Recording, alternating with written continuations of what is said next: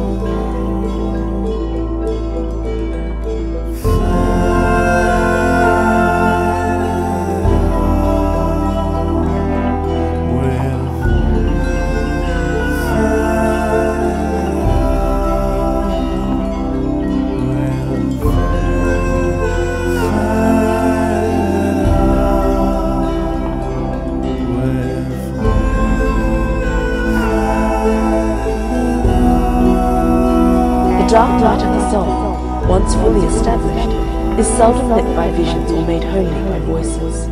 It is of the essence of its miseries that the once possessed power of orison or contemplation now seems wholly lost.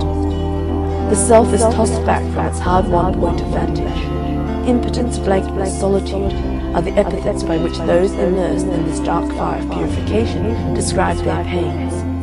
Thus the exalted consciousness of divine perfection which the self acquired in its mystical awakening, was balanced by a depressed and bitter consciousness of its own inherent imperfection, and the clash of these two perceptions spurred it to that laborious effort of commendation which constitutes the purgative way. The renewed and ecstatic awareness of the Absolute which resulted, and which was the governing characteristic of illumination, brought its own proper negation the awareness, that is to say, of the self's continued separation from and incompatibility with that absolute which it has perceived. Touches me too hard.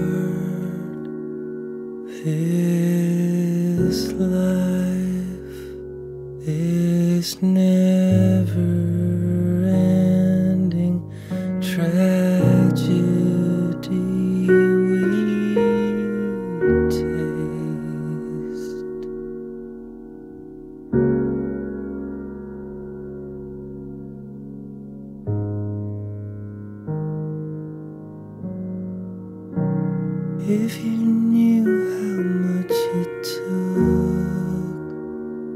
to survive a life this hard, so much happened.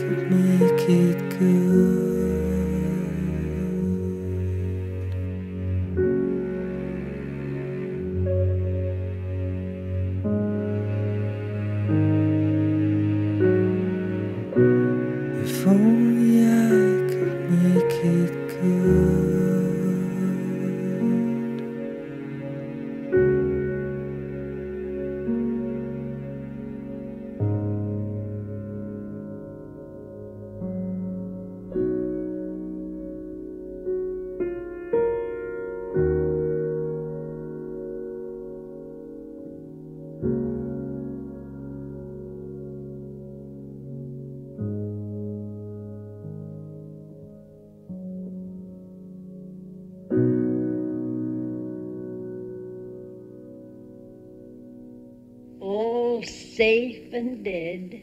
All safe and dead.